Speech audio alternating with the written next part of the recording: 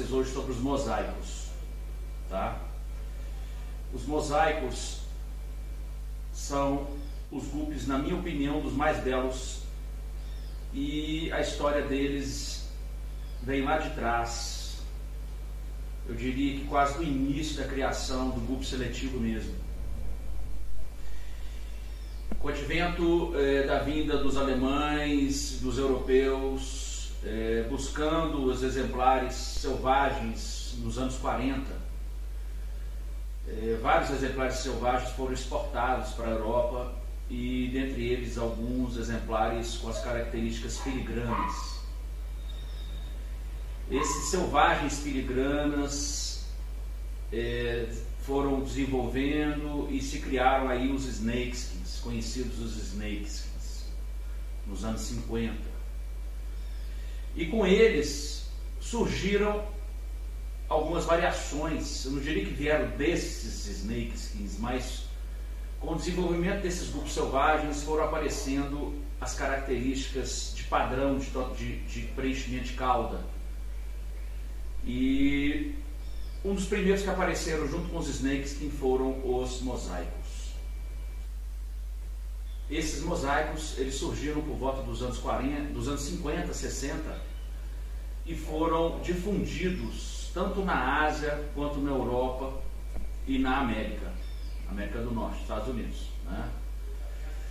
Não sei bem aonde foi que surgiu o primeiro mosaico, mas ele é muito antigo, por volta dos anos 50 e 60, e essa característica ela foi sendo desenvolvida juntamente com os padrões de nadadeira, vieram os mosaicos Velos, depois os deltas e depois os half moons. Hoje essa característica mosaico ela é muito popular em toda a criação de curso do planeta.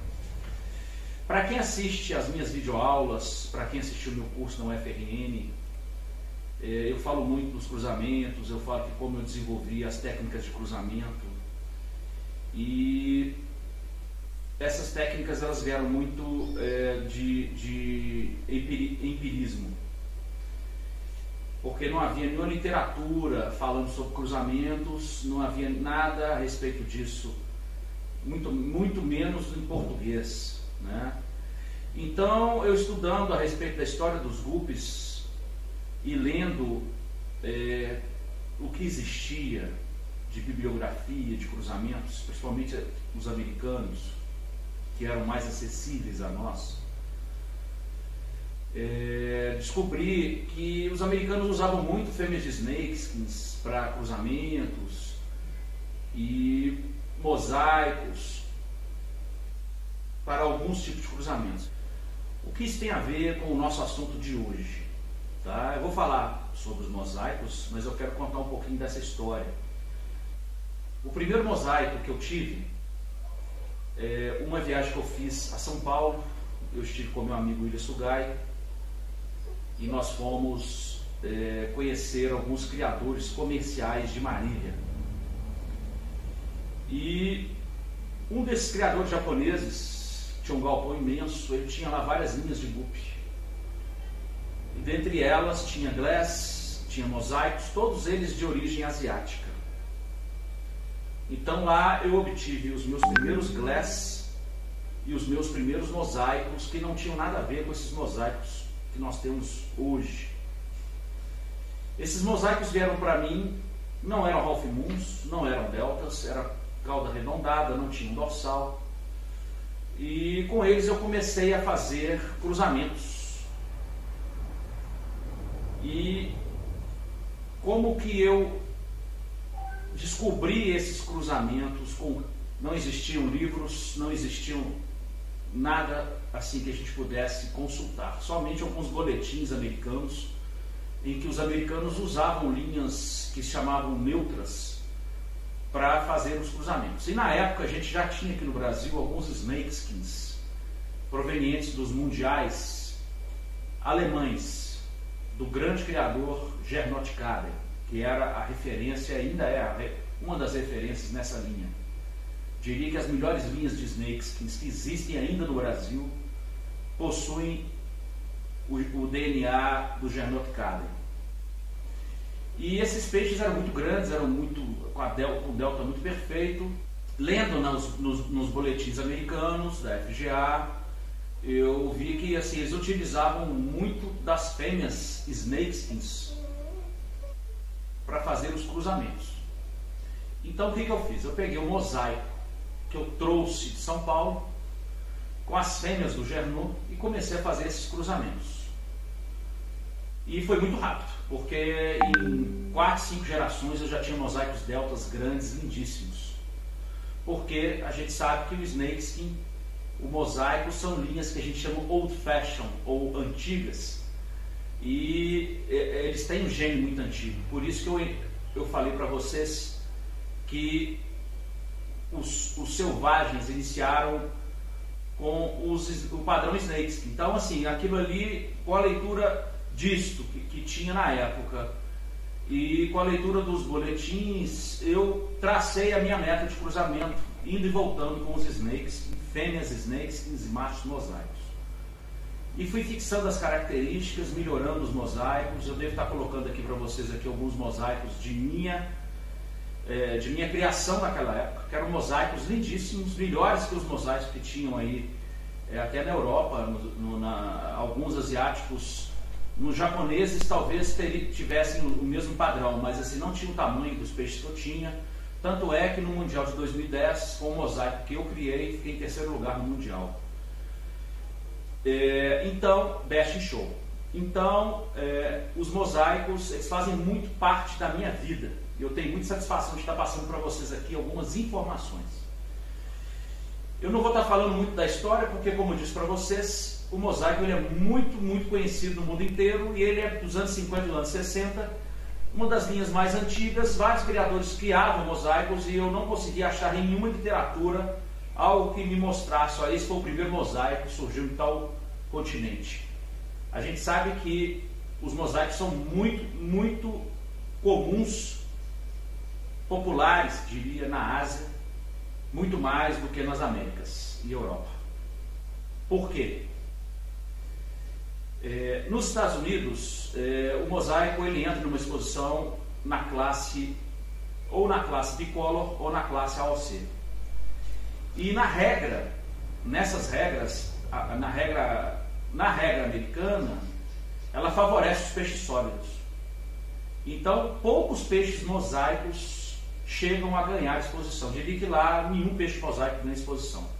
Eu tive conversando isso recentemente com o Simeon e o Frank, que tiveram aqui em março de 2020, e eles concordaram que os mosaicos eles perdem muito, muitos pontos nos quesitos pont, é, é, muitos pontos nos quesitos de cor.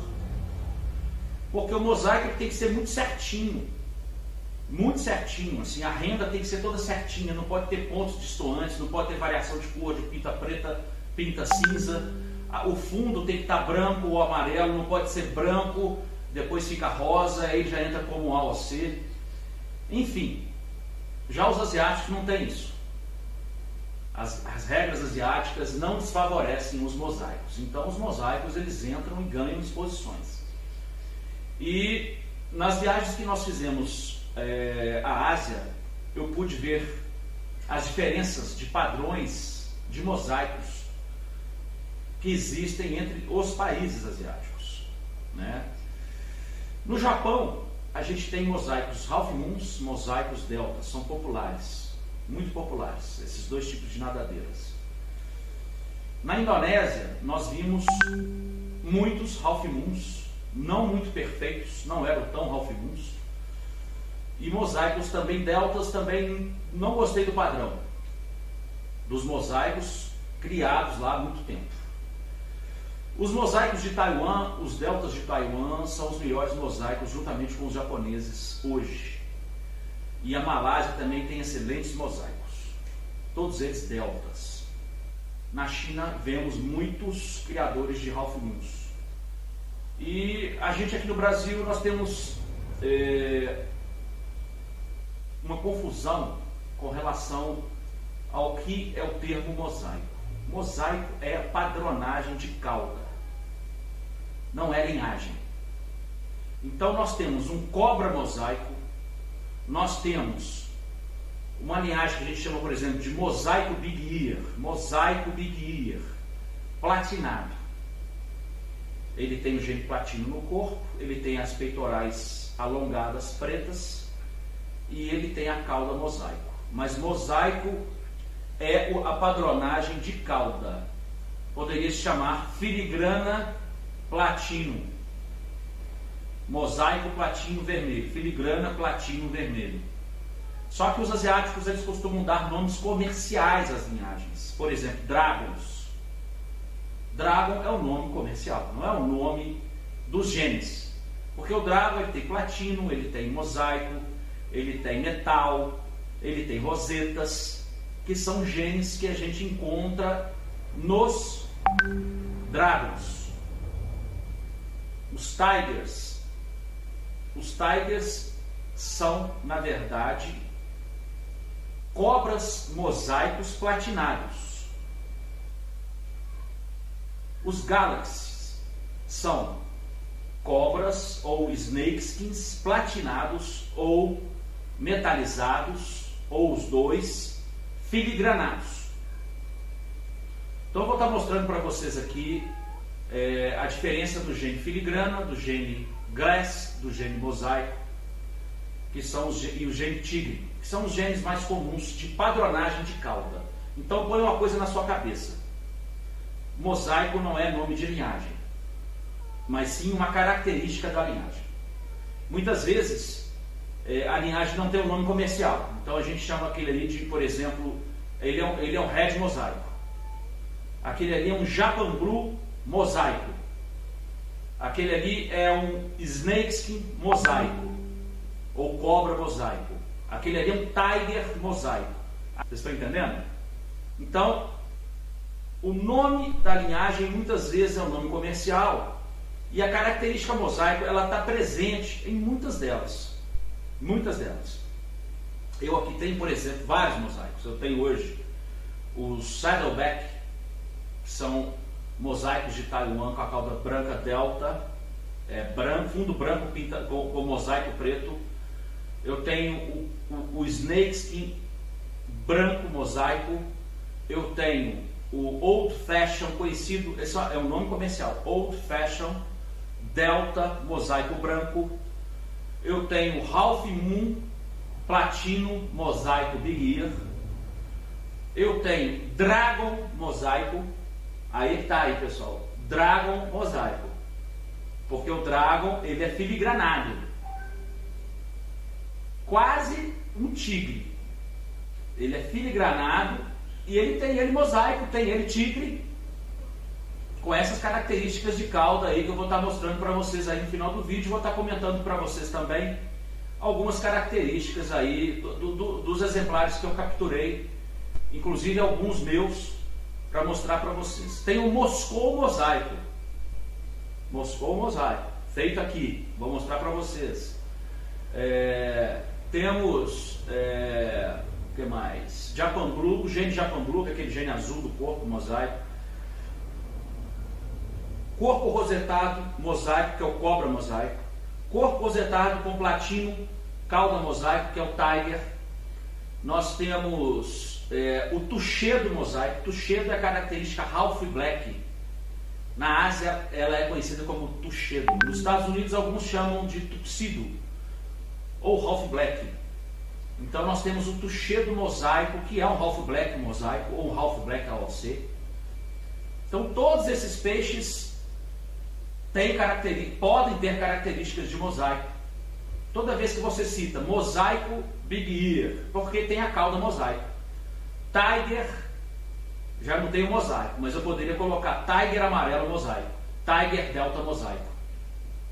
Então, é, o mosaico é uma característica muito comum, muito antiga, muito popular, participa de várias exposições no mundo inteiro e uma das mais antigas, as fêmeas que eu tenho de mosaico são belíssimas. Eu tenho então várias fêmeas mosaicas, gigantescas, dorsais imensas e foram desenvolvidas de peixes asiáticos que a gente foi colocando tamanho, foi colocando padrão. E estamos trabalhando aqui porque a gente sabe que os peixes asiáticos que vêm para o Brasil muitas vezes não tem padrão Delta, não tem padrão Ralph Moon direito, aí tem que trabalhar essas linhas. E a gente utiliza aí é, os peixes que têm padrão, que têm compatibilização através do histórico, e com isso nós vamos melhorando as linhas. Mas para isso vocês têm que ter muitos aquários e tem que estar seguindo aí a risca é, a seleção criteriosa.